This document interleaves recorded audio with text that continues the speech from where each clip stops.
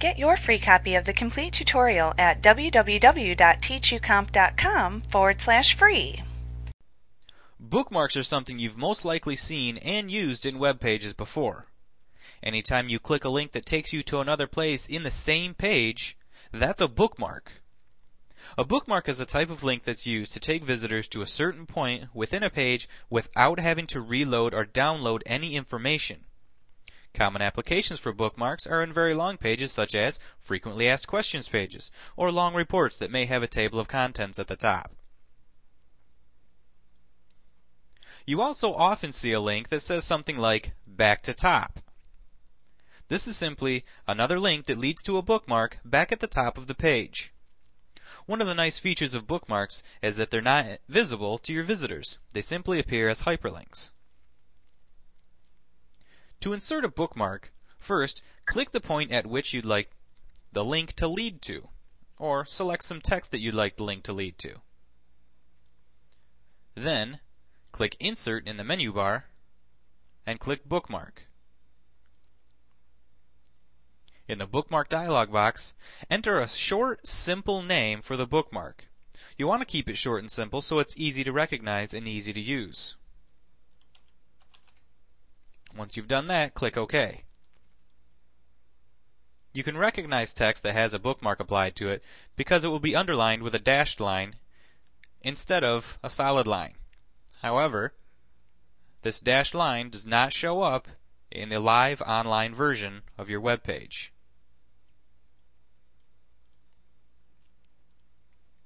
Okay, so we've completed one step of the bookmark process.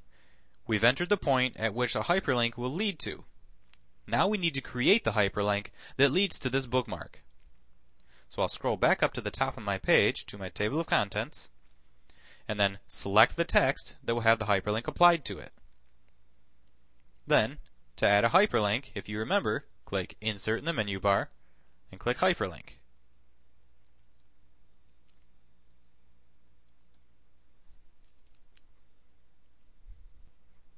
Once again, FrontPage 2000 has a slightly different process and look to it. You still select the text and then click Insert and Hyperlink. But here, click the Bookmark dropdown and select the bookmark you'd like the link to lead to. If you remember, I called that one When. Once you do that, simply click OK.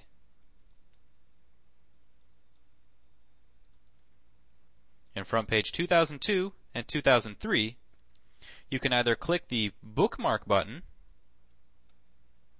or in the link to section you can select place in this document.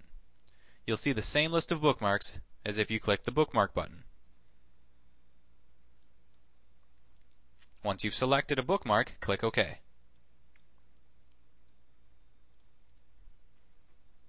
Now let's go ahead and preview the page to see if our bookmark works.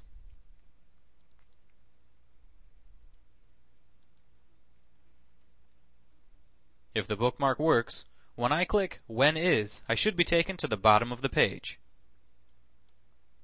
Now to go back to the top, I'll click the Back to Top link that leads to a bookmark at the top.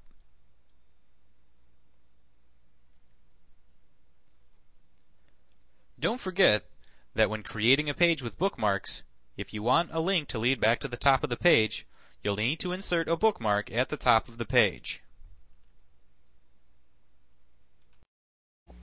Like what you see? Pick up your free copy of the complete tutorial at www.teachucomp.com forward slash free.